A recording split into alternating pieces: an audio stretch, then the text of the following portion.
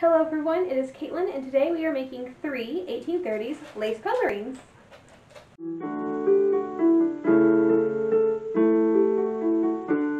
Alright, let's start with step number one, which is cutting. So this one is going to be, um, well they're all going to be lace trimmed colorings. So um, I have bought some lace edgings. So this one's going to be edged with a Swiss edging. That is, looks like this. I was looking at some originals, found some similar motifs with the wreaths, so I decided to go for it. Um, of course, this is machine done, which wouldn't necessarily have been done in the period, but, but I can guarantee you this looks a lot more like the originals than anything I could do by hand. So we're going to go with it. Um, honestly, I've looked at machine work in the period and looked at handwork in the period, and unless you really look at the back and see like how it, the like knots and that sort of thing, you really can't tell all that well, even from a little bit away. So I think it's going to be acceptable. And then I also have some little wreath type um, insertion. There's that. This one we're going to use a pattern from the Workwoman's Guide. We've used it on the last pelerine video, which I will link above. And um, this one is figure 11. We're going to do a couple of changes. First of all, I'm going to make this neckline a little smaller because the neckline turned out a little bit large in the last one. So we're going to change that. And the other thing I want, I don't want this to be quite as exaggerated. So I'm going to kind of soften this curve a little bit for this particular one.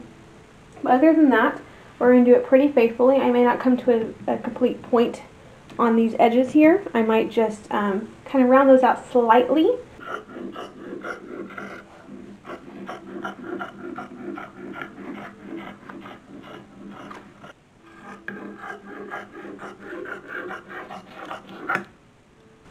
Going to put all that together because that all goes together. So I think this edging is pretty close to the fabric in terms of sheerness. I don't know how to hear that. Chicken's going crazy outside.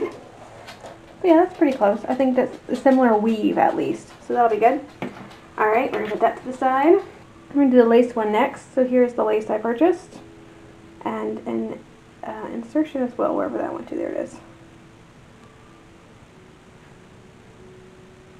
So that's what I chose for this. I think we're, I don't know if we're going to do organdy or if we're going to do voile again. Let's do voile. And this is figure 35 on the Workwoman's Guide. And I just enlarged it via the computer, printed it out. Yes, it makes it really blurry, but all you want is these big lines anyway, so. You could technically clean it up if you want to. I've done that before too, but when it's just me and I'm not putting the pattern actually out there, I don't worry about cleaning things up.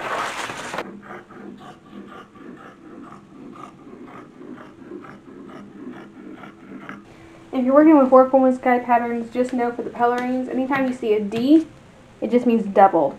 So that's where you put it on fold. You don't want to cut that end. Alright so many coloring patterns now. So many of them. Okay. And this is the stuff the lace. So we're going to put the lace in here. That way all my stuff stays together. Alright, now I'm going to find my organdy. And let me show you the trim I found for this. Nice organdy trim. It does have this little serged edge we're going to have to cut off because that's not correct. But other than that, um, it's nice wide edging. And I look forward to working with it. It like weighs nothing. Like organdy is just so light. Alright, I think we're going to use a Cintac. Oops, sorry, that was me kicking the camera. Usually it's the dog, but today it's me. Uh, we're going to use the same coloring pattern we used for the um, floral cotton dress. And I'll link that above if you haven't seen that video. But it's the same one. We're going to make a few modifications, mostly just cutting about an inch and a half off, pretty much all the way around to make it a little shorter.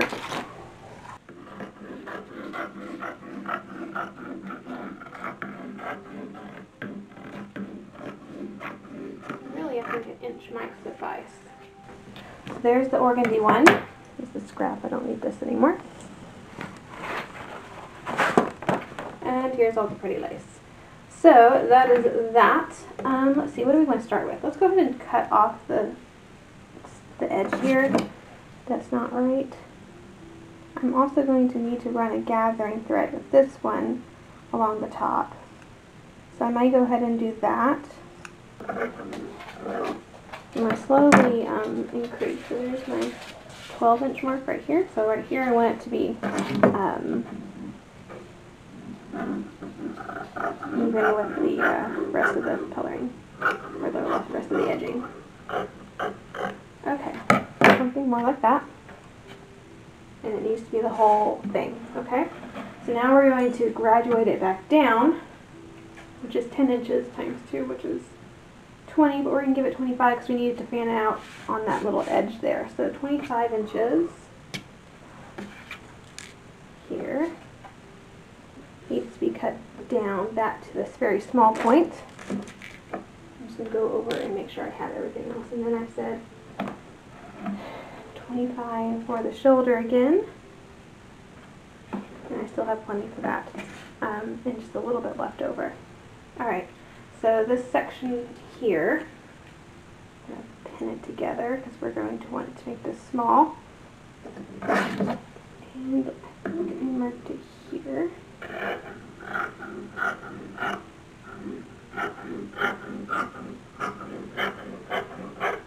Alright, so we're going to start at the very back here. I'm just going to mark this. And then let's start gathering. Only a fair bit of gathers to let it kind of go around that curve pretty well.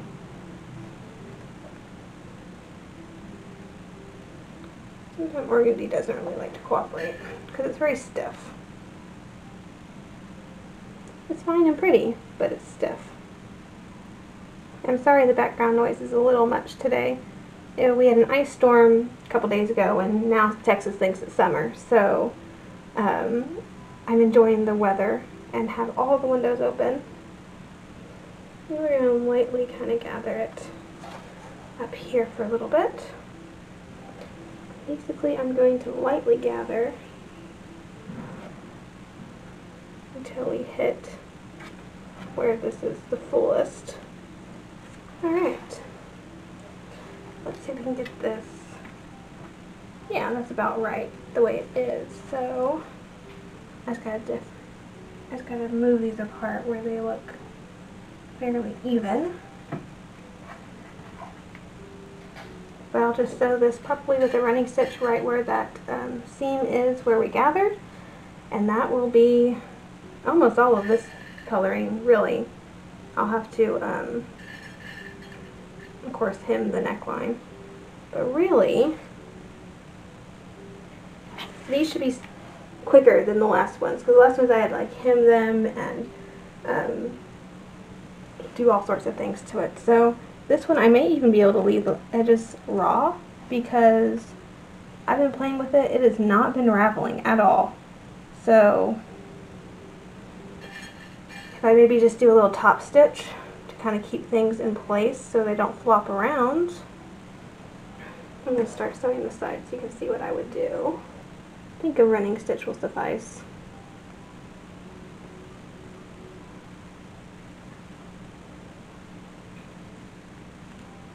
Make sure that the gathers are evenly distributed.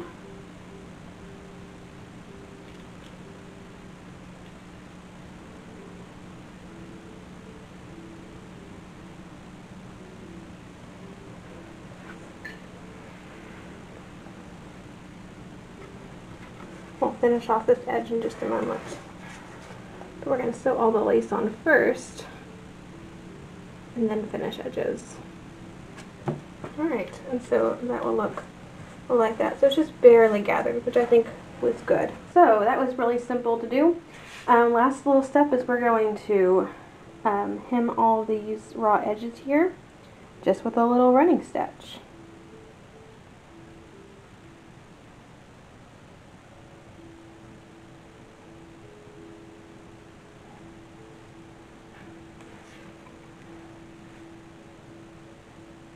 Really, it turned out super cute. I can't wait to try it on with a dress. I may also go around this, just kind of top stitch it, keep the seam down, but it really does not seem like it's going to have an issue raveling, and you can't tell that the, it's a raw edge from the front. So I'm going to leave it raw. let's start working on the next pelerine. So this one's going to be the lace one. And I'm going to start by hemming all the edges just to make sure, um, just so I'm not putting the lace to a raw edge. It might just be easier to go ahead and do it. So I'm just going to fold this in on itself. I have it um, ironed over half an inch, or a quarter inch. So half of that's an eighth. And so I'll have an eighth inch hem. And then I can just attach the lace to a finished edge.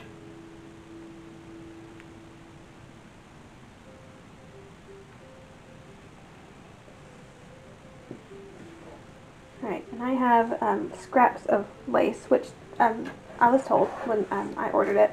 They said I didn't have one length, but they had several lengths, and I said that I'd piece it, it was fine. So, I'm going to find a right and a wrong side to this lace, because lace usually has a right and a wrong side. Alright, so the original is shaped differently, so they were able to have lace along the uh, neckline as well. I don't think we're going to do that. Um, we're just taking the idea of a lace pelerine and um, doing another design. And I may have to ease this in certain places, especially around the curves, to make it lay right. So, I'll have to watch for that.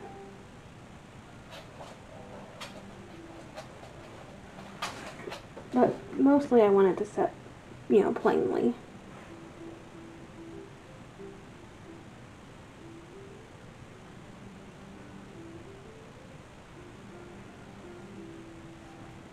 After this we're going to do the same thing basically with the edging lace. And this pelerine will be done. These are easy pelerines to do, these lace ones. They're just expensive. Very last step of this pelerine, we are putting on the lace edging. So this is what it's looking like. I did manage to kind of graduate it so it, you know, stayed pretty flat. I think it looks really nice. I'm going to keep working on this. And then we get to work on the last one.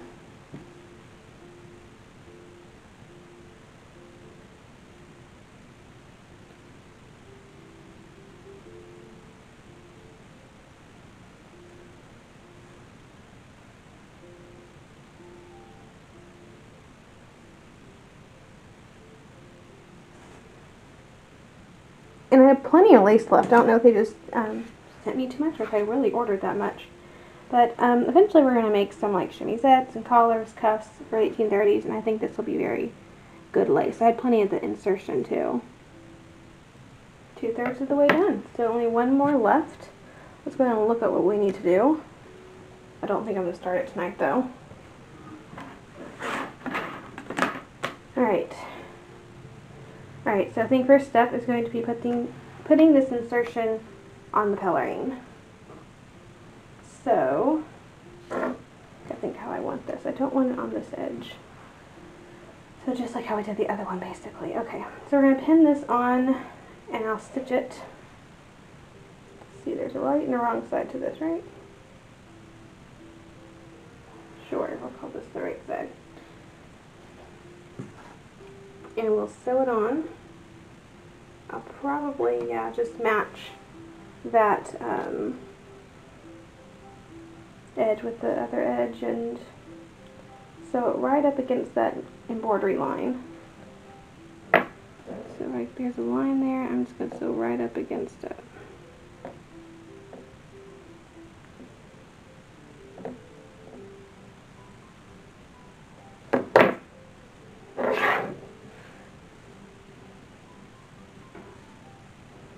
And I'll probably also have to gather the lace bit, or the edging bit, I suppose.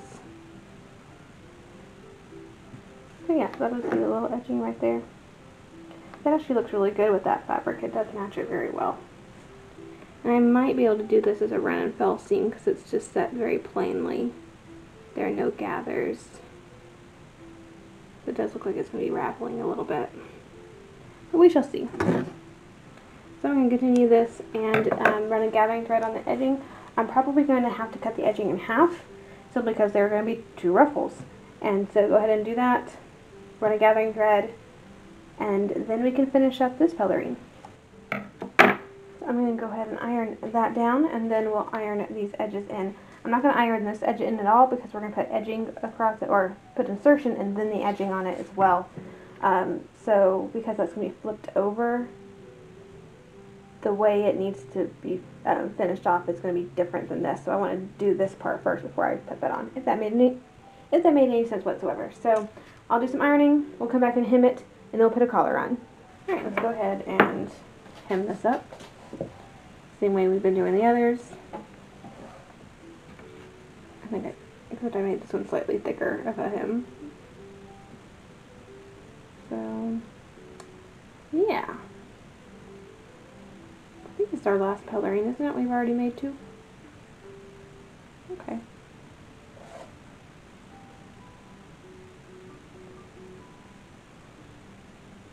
Won't be our last for like forever because I got like three more planned, but be our last for the video.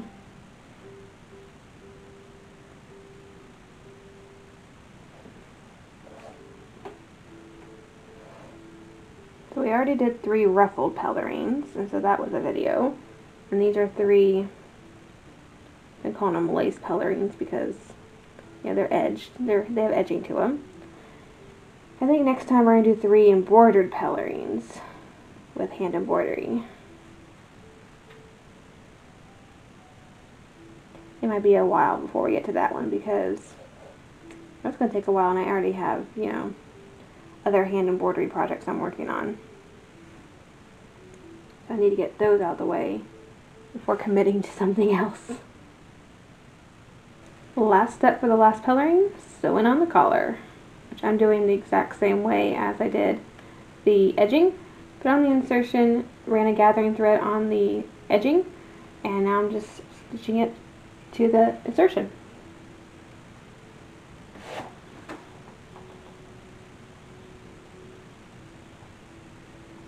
Once we get this done, I'm pressing all the seams down, and we'll go ahead and put on a dress and try them all on.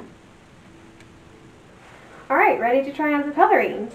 So I'm in the silk dress, um, mostly because the sleeve supports were already in this dress and it takes forever to get them out and into a new dress. So again, back is still not done up correctly because I don't have anyone here to help me with it. So yeah, if it's kind of funny, but we're going to do the best we can because I can't be bothered to spend 10 minutes undoing sleeve supports. I've now decided that every dress that I make for the 1830s is going to have its own sleeve supports and they're just going to go in there and stay in there. They're going to be tacked in and I'm not going to mess with them anymore.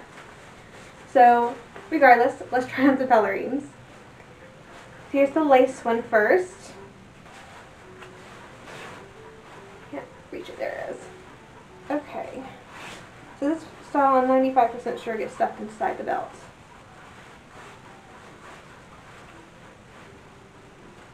Okay.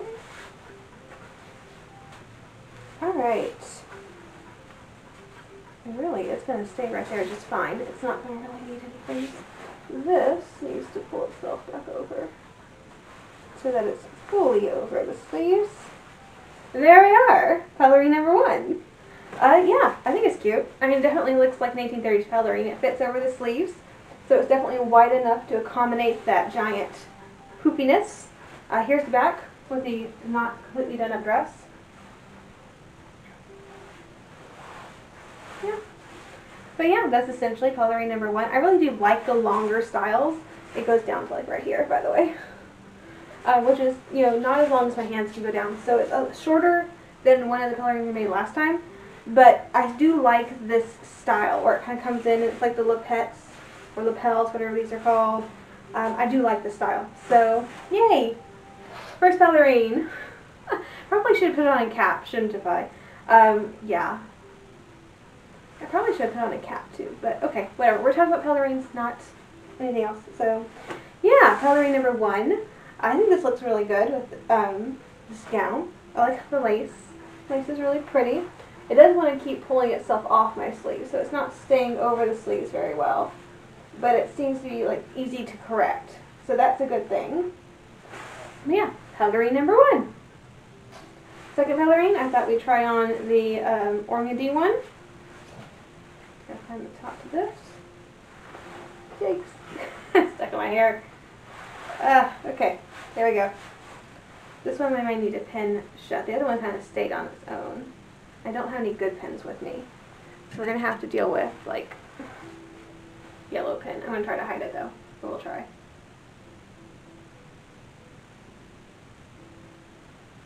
Okay.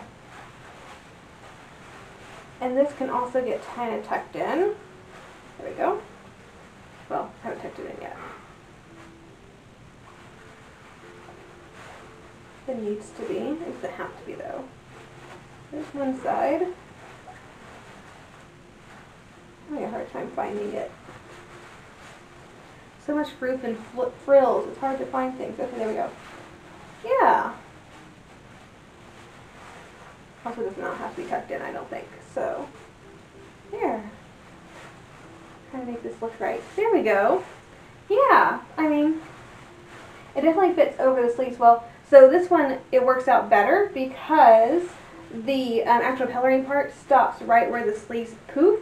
And then we have the ruffle that we ruffled excessively right at the sleeves, at the shoulders. And so it actually does work quite a bit better than the other style over these sleeves. So yeah, 1830s pelerine. Here's another one. I don't know what it looks like back there, but okay, pulling it down. Okay, so it goes down to my waist. Let me pull on it. So it is a longer style. I could probably tuck that into the back belt as well, but that's going to be too difficult today. So this is what it's going to be like. I mean, honestly, I think it's adorable. Um, this is probably my favorite style of the three. Um, I do like the way it fits. I like the shaping of it, where it kind of comes up in at this V.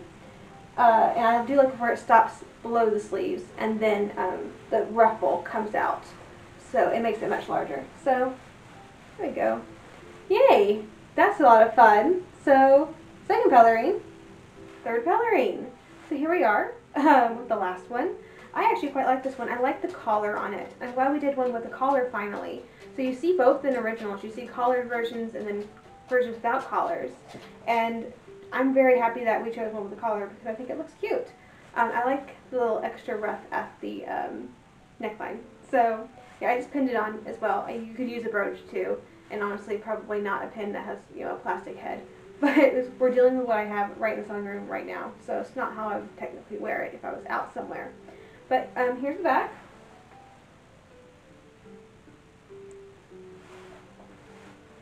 But yeah, that was a lot of fun. Three little pelerines. Um, the lace pelerines. So we did three ruffle pelerines. We did three lace pelerines now. So we're going to do three embroidered pelerines next, which should be quite fun. It might take a while, but um, I'm looking forward to it. And then we'll have nine pelerines, which I do believe is a um, substantial amount. And so I think we shall stop there at least for the time being, um, although we might not get to the embroidered ones for several months. But this is fun. Uh, very glad we got to do it. Very um, happy with how they turned out. I hope you enjoyed the journey, and thank you so much for watching, and I will see you in the next video.